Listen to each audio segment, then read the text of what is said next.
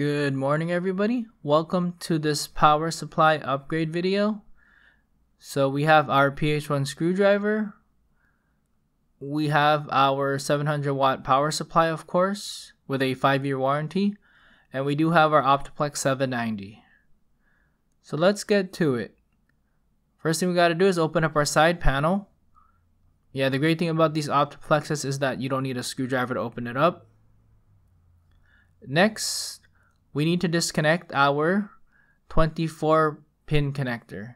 So I will put a screenshot of the motherboard layout as well. So here is the 24 pin connector.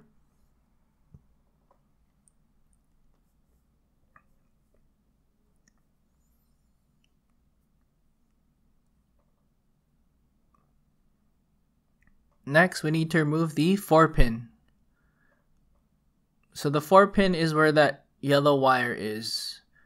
So let me get you a better look here. So the 4 pin is a 12 volt. So I'm just going to gently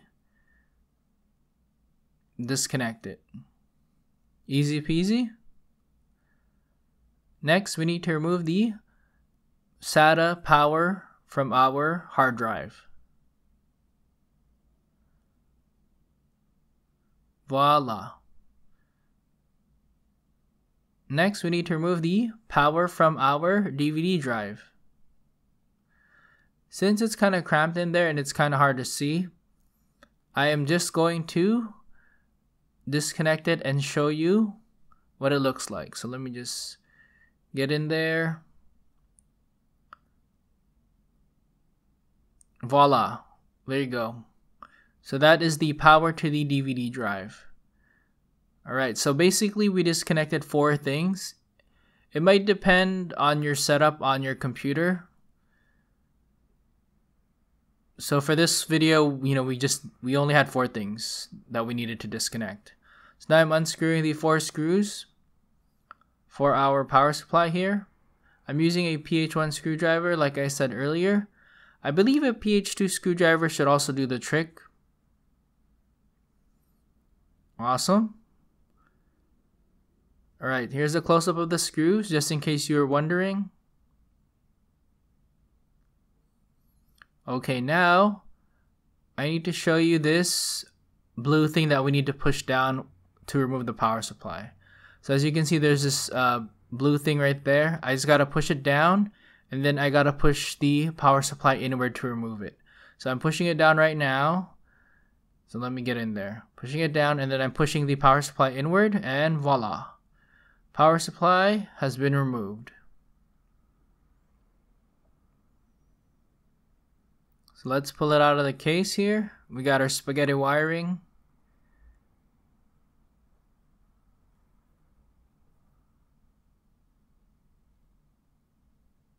All right, next thing we got to do is we have to open up our brand new power supply. So we got our um, Thermaltake 700 watt Smart Series. So I do recommend reading the instructions. I'm also going to put a photo of um, part of the instructions. So it's got a power cord as well and some screws to go with it. So we do have a lot of wires here. I'm going to point out which of the cables we are going to use. So that's a nice looking power supply.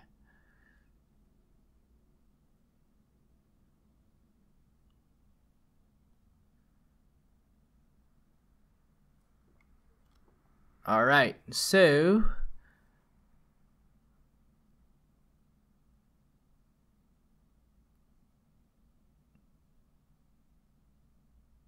Here is here are the cables we're going to use. The main 24 pin connector, the 4x4 pin, but we're only going to use um, half of it. And then we have our SATA 4 pin as well. These are the connectors we are going to use. Next, here is the layout of the motherboard. Number 23 and number 17 I wanted to point out. So number 17 is the 4 pin and number 23 is the 24 pin. So in the technical specs, it says that it's basically called a P2 and a P1 power connector.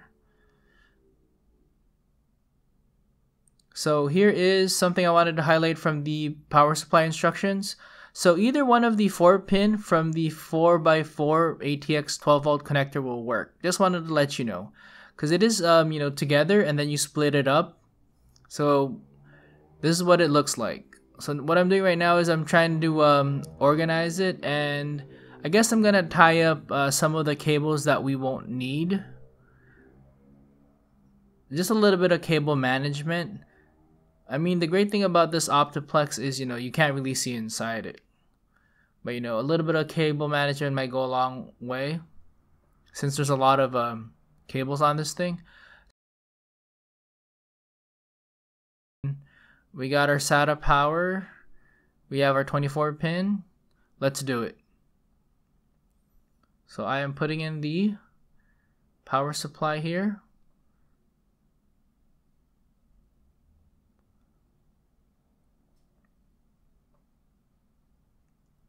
Okay, let me get you a better look here.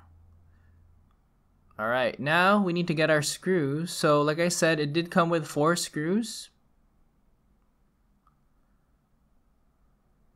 Got our PH1 screwdriver. So it looks like these screws fit nicely.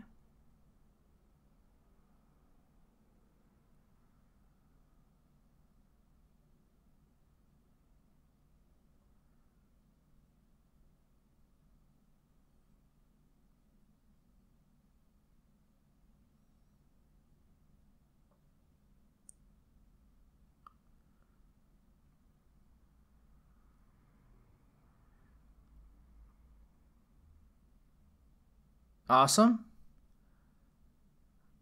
Okay, so let us get down to business. So we have a lot of uh, cables here. So we disconnected four things, so we need to connect four things again. So let me just try to do a little bit of cable management here. I'm going to connect the SATA power to the hard drive. Easy peasy. Next, I'm going to connect our power to our DVD drive.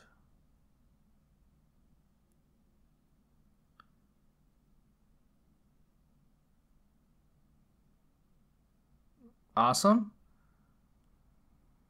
So let me just try to um, organize our cables here a little bit.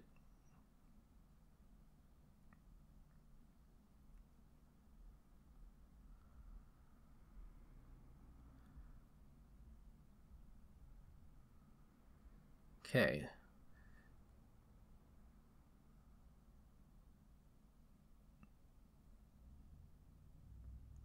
Yeah, one of the cables we are going to be using for a graphics card in the future, but it's not something we have to worry about right now. So the next thing I'm going to connect is the 4 pin. So yeah, keep in mind that, like the manual said, you can use either one of the 4 pin connectors. So you can see it right there. And then now we are going to connect our 24 Awesome. So that's our 4 pin that we connected. As you can see, there's another 4 pin right there that is not connected. And then that's our 24 pin. And then we have our SATA power right here for the hard drive. And we have our power for the DVD drive, which is covered in cables, which is really hard to see. So four things disconnected, four things reconnected. So let me clean it up a bit. I noticed that it was really dusty. You know, I should have cleaned it before we connected the new power supply, but, you know, I didn't really notice it too much.